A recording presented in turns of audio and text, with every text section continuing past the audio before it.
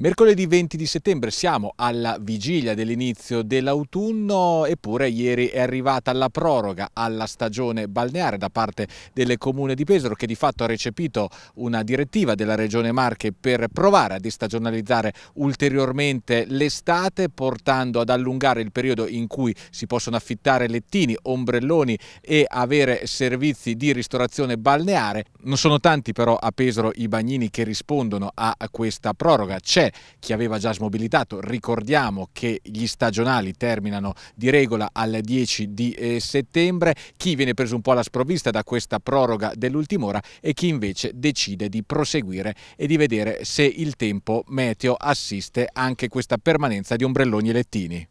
Noi come spiaggia le lasciamo sempre, ombrelloni e lettini anche dopo la chiusura della stagione che di solito è intorno al 10 di settembre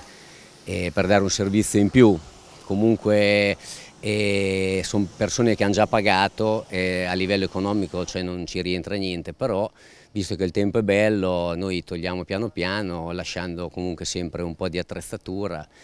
perché ci fa piacere che i clienti comunque se il tempo è bello possano venire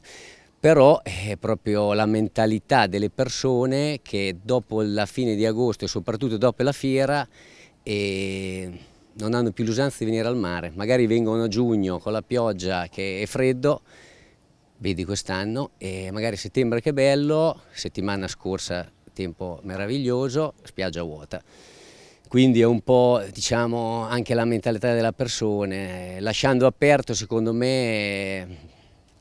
la presenza nelle spiagge sarebbe comunque bassa. Siccome è un'opportunità non è un obbligo perché noi abbiamo l'obbligo di stare aperti dal primo di giugno al primo settembre mi sembra. Che si possa stare aperti fino al primo ottobre o fino al 30 settembre direi che non cambia molto, quindi chi voleva chiudere chiude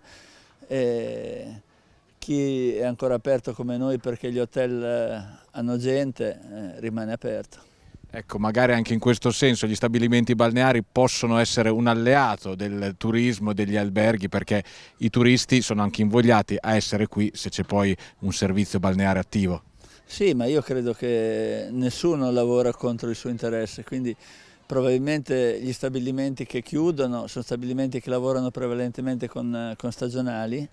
e quindi a un certo punto de della stagione chiudono perché i costi sono superiori alle entrate. Eh, noi magari abbiamo dei contratti con, con gli hotel, eh, evidentemente